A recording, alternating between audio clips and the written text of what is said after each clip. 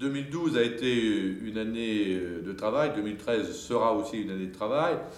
2012, le, logement est, resté pour nous une priorité. C'est un axe de fond.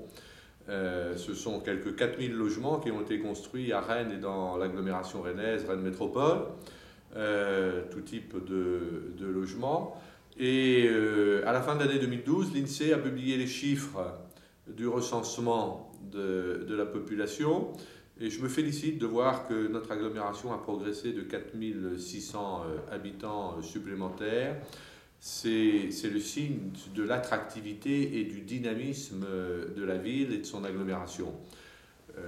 malgré les difficultés du temps, la crise et les mutations en profondeur qui, que nous connaissons, Rennes et la Bretagne, de manière qui progresse elle aussi globalement et devient la cinquième région en termes de poids de population euh, en France, euh, sont des villes et une région euh, attractive. Alors, pour cela, ça veut dire que la priorité plus que jamais pour nous, pour cette année 2013, c'est l'emploi.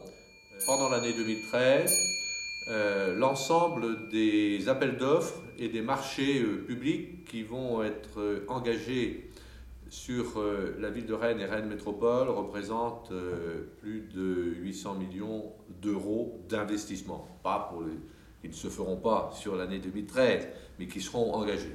Il y en a 600 millions sur la deuxième ligne du, métro, et puis il y a tous nos autres projets, les 4000 logements euh, pour lesquels nous apportons des aides à hauteur de 30 millions, le centre de congrès qui va rentrer dans une phase plus active, euh, la Cité internationale des étudiants-chercheurs, la création euh, du biopôle pour accueillir des, start-up et des jeunes entreprises et des nouvelles entreprises dans le domaine des biotechnologies, de l'environnement, de la santé.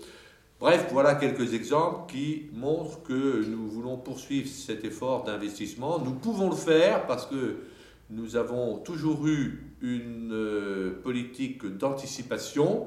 Je vois beaucoup de grandes villes en France qui réduisent la toile en matière euh, d'investissement.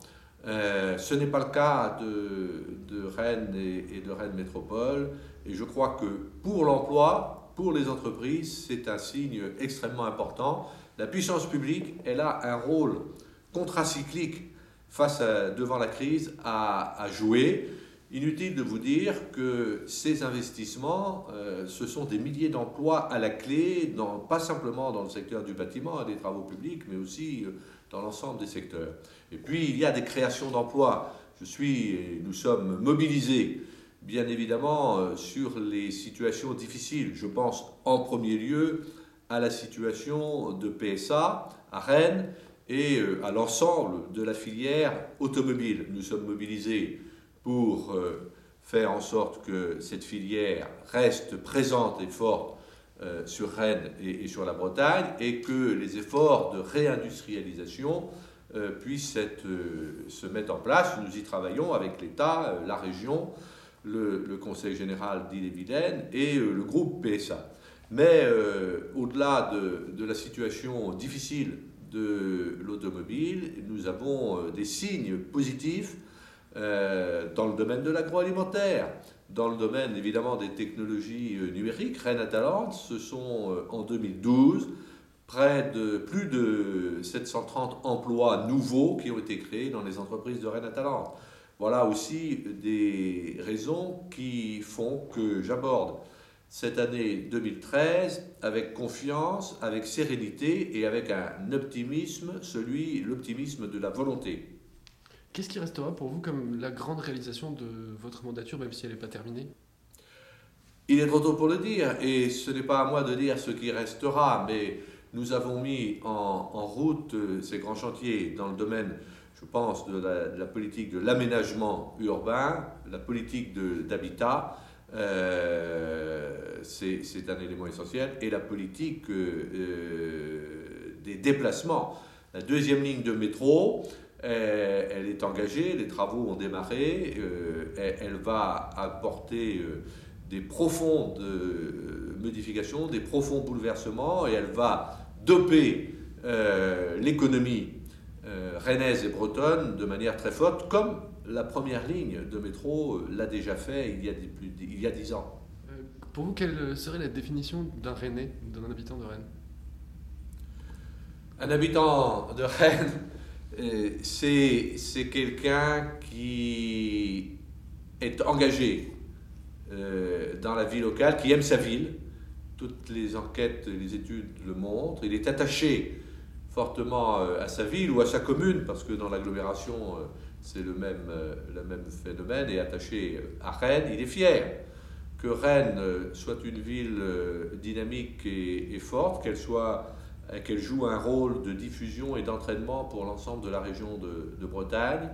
Et, c'est quelqu'un qui a fondamentalement euh, une culture du dialogue et de l'action collective. Comment est-ce que vous définirez la nature de vos relations avec l'opposition et son représentant, M. Chabana, au conseil municipal? C'est la nature de ces relations, euh, c'est une nature démocratique. Il y a euh, une majorité qui défend un projet et un programme, il y a une opposition euh, qui défend je ne sais pas trop quoi, qui s'oppose. J'attends de, de, connaître et de voir quel est son projet et son programme, car il ne suffit pas de critiquer tel ou tel aspect, c'est la vie démocratique, c'est légitime. Mais euh, voilà, euh, les, rapports sont, des rapports normaux euh, dans le cadre d'une démocratie qui est une démocratie franche, mais totalement apaisée. Et avec vos alliés du groupe vert aussi? Mais nous sommes dans le cadre de nos alliés d'une majorité municipale qui s'est constituée avec différentes sensibilités. Euh, les socialistes euh, sont, majoritaires, euh, mais il y a d'autres groupes. nous avons les élus communistes, les élus, les élus écologistes, et nous, avons un projet commun. Puis il y a des appréciations qui peuvent être différentes. C'est aussi la richesse d'une majorité qui n'est pas monolithique. Est-ce que pour vous, euh, alors je sais que ce n'est pas en Bretagne et que c'est un peu compliqué d'en parler, mais est-ce que pour vous Notre-Dame-de-Lande euh, apporte-t-il plus de problèmes que de solutions aujourd'hui? C'est pas compliqué d'en parler. Euh, et si cet ce projet de transfert de l'aéroport de Nantes à Notre-Dame-des-Landes n'est pas en Bretagne, il intéresse la Bretagne, comme il intéresse les Pays de la Loire, il intéresse le Grand Ouest. Je veux redire avec force et détermination que je considère, avec de très nombreux élus de villes, les députés euh, de, l'Ouest euh, que nous considérons, qui, avons été élus, je vous le rappelle, démocratiquement, y compris en défendant ce, projet, car euh, en ce qui concerne Rennes Métropole, nos premières prises d'opposition, elles datent de 2001.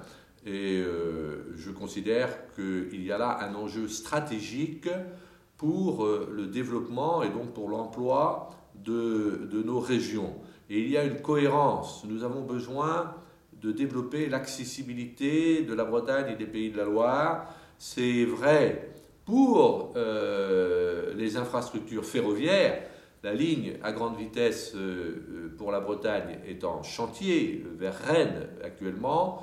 Nous travaillons aussi en liaison euh, avec la Bretagne, les pays de la Loire, l'agglomération nantaise, pour une liaison rapide ferroviaire entre Rennes et Nantes. Euh, elle desservirait, euh, il faut qu'elle desserve la plateforme de Notre-Dame-des-Landes, mais nous avons aussi besoin, sur le plan aéroportuaire, de cette infrastructure. Tout comme nous avons besoin aussi, en parlant de grandes infrastructures qui favorisent l'accessibilité du territoire, nous avons besoin euh, de développer les liaisons numériques à très haut débit pour la Bretagne et pour l'Ouest. Comment Rennes fait-elle pour attirer autant les jeunes et les étudiants aujourd'hui? Rennes est une ville euh, d'enseignement supérieur, de recherche euh, et d'éducation depuis très longtemps. Historiquement, c'est un de ses socles fondateurs.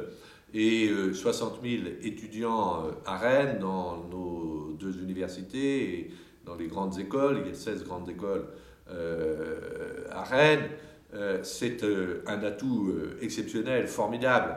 C'est euh, pour l'avenir la clé du développement des emplois pour demain, la qualité de la formation, je dis souvent de, de la crèche ou de la maternelle jusqu'au laboratoire de recherche, la qualité et la diversité des formations, c'est l'élément essentiel pour prendre pied dans le 21e siècle, au moment de cette troisième révolution industrielle dont parle Jérémy Rifkin. Pour rebondir sur cette question, on voit aujourd'hui que l'université Rennes 2 est presque à saturation d'étudiants.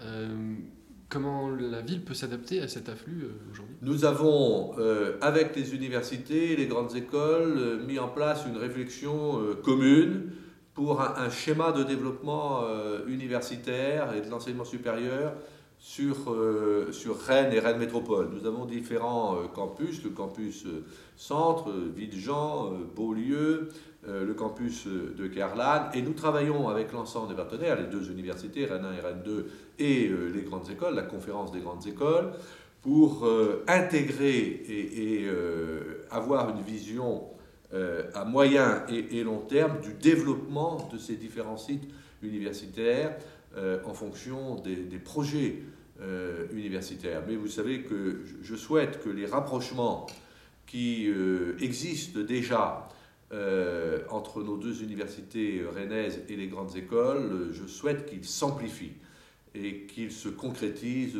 plus fortement, parce que nous avons besoin de, renforcer le, site de l'enseignement supérieur rennais au sein et dans la cohérence avec le schéma régional euh, universitaires. Il y a quatre universités euh, en Bretagne et au, au, sein aussi du développement des coopérations avec les autres universités, en particulier dans le cadre du pôle métropolitain. Je pense euh, singulièrement évidemment à Brest et, à Nantes.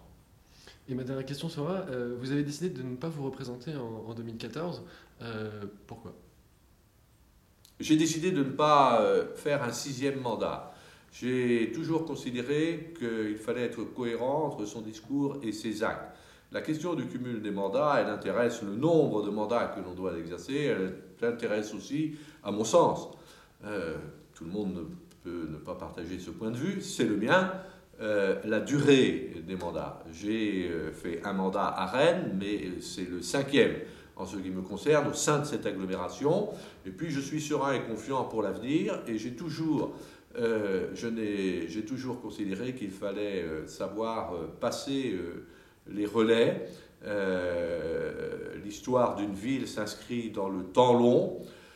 D'autres ont travaillé avant moi, je pense singulièrement évidemment à, Edmond Hervé ou, et aussi à Henri Fréville. D'autres travailleront après, après moi. nous avons mis en chantier de, de nombreux dossiers ils continueront, et je souhaite qu'ils continuent dans la logique et avec les orientations et les objectifs qui sont ceux que je défends aujourd'hui pour Rennes et Rennes Métropole. Pourtant, un certain nombre d'élus, vous reconnaissez la légitimité d'un nouveau mandat et même parfois ont été surpris par, par votre décision. Écoutez, il y a des choix qui sont des choix personnels, c'est le cas, et il y a des moments où j'ai souhaité que, euh, le faire maintenant pour que les choses puissent se préparer euh, tranquillement et sereinement ce dont je ne doute pas. On commence à parler de Nathalie Appéré pour, euh, pour succéder euh, à la mairie de, Rennes. Euh, vous, comment dire, vous l'adoubez? Il y a, je n'ai à adouber personne. ce n'est pas ma conception de la vie démocratique. Il y a des procédures dans, au sein de ma famille politique socialiste. Il y a des, procédures et des règles.